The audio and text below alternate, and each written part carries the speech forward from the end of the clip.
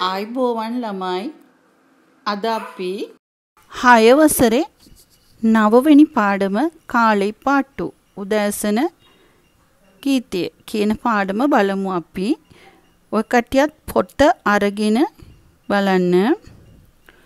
காக்கா காக்கா cacao cacao பறந்து வா இகிலீவ என்ன காலையில் எழுந்து உதாசன அவதிவி பறந்து வா இகிலி என்ன கோழி கோழி கிக்கிலி கிக்கிலி ஓடி வா දුවලා එන්න කුංජෙයි කූට්ටි පැටවා රැගෙන ඕඩීවා දුවලා එන්න වෙල්ලෙයි පසුවේ සුදු එළදෙන විරින්දුවා වේගෙන් එන්න පිල්ලෙයික පාල් ළමයට කිරි කොණ්ඩුවා රැගෙන එන්න.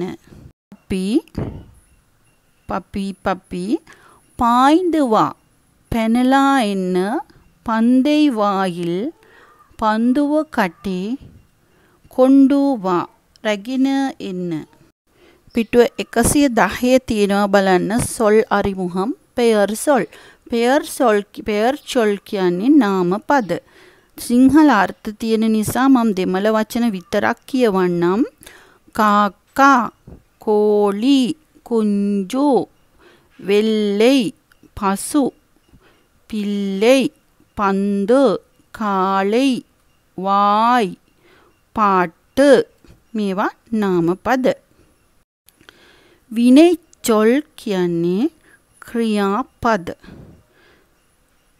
කියවන්නම් දෙමළ වචන අහගන්න பறந்து வா எழுந்து விரைந்து ஓடி கூட்டி கொண்டு පායින්ද සේට්පාඩු ඉරන්ඩු පිටුවංක එකසිය එකොළහේ තියෙන එක බලන්න පින්වරුම් පඩංගලයි පාර්පෝම් පේර්කලයි එළදුවෝම් මේ රූපේ තියෙන සතාගේ නම ලියමු අපි. මොකද ඉන්නේ? කවුද ඉන්නේ? කාහම්. දෙක කෝලි. කෝලි.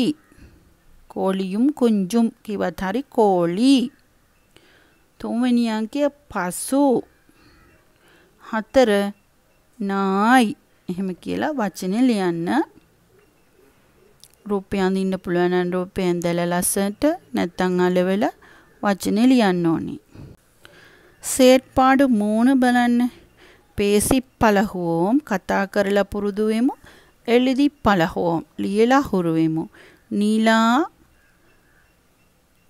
නිලා නිලා තම්බි තම්බි තම්බි කෝලි කෝලි කෝලි කියලා මේ කොටුව තුල තියලා තියෙනවා ඊළඟ කොටුවේ ඕඩිවා දිව එන්න දුවලා එන්න එතකොට ඔකට්ටිය වාක්‍ය තුනක් විතර හදලා ලියන්න කැමති විදිහට නිලා ඕඩිවා නිලා නිලා ඕඩිවා තම්බි ඕඩිවා තම්බි තම්බි ඕඩිවා කෝලි ඕඩිවා කෝලි කෝලි ඕඩිවා එහෙම වාක්‍ය ලියන්න තියෙන්නේ මෙතන. වාක්‍ය තුනක් ලිව්වොත් ඇති. ඊළඟ පිටුව 112 තියෙනවා කිලි කිලි කාකා කාකා මයිනා මයිනා පරන්දු වා ඉගිලි එන්න. එක කිලි පරන්දු වා කාකා කාකා පරන්දු වා මයිනා මයිනා පරන්දු වා කියලා වාක්‍ය තුනක් ලියන්න. පාප්පා පාප්පා පප්පි පප්පි වෙල්ලේ පසු එතන තියෙනවා විරේන්දුවා වේගෙන් එන්න. මෙතෙන්ට වාක්‍ය තුනක්. හරිද? ඊළඟ කොටුව බලන්න පාල් පන්දු පුත්තහම්. කොණ්ඩුවා රැගෙන එන්න. එතකොට පාල් කොණ්ඩුවා පන්දු කොණ්ඩුවා පුත්තහම් කොණ්ඩුවා කියලා වාක්‍ය තුන තුන බැගින් ලියන්න. ඊළඟ අභ්‍යාස අපි මේ සතිය තුළම අනිත් දවසක බලමු. නන්රි